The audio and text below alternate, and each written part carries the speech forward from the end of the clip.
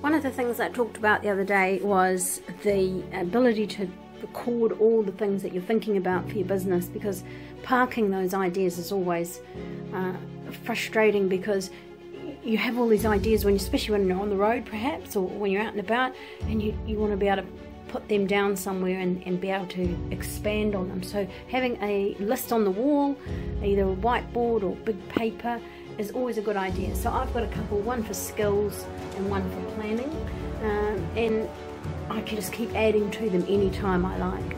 Um, and I, it always reminds me what it is that I want to achieve.